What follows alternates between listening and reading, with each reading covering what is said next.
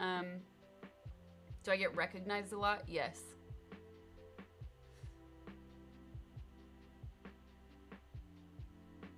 Actually, today in the store, this guy did like the double take. And then I was getting fruits. And I turn around to get something else. And he's like this with his phone, pretending to take a picture of snacks, but taking a picture of me. And then he goes, because I caught him.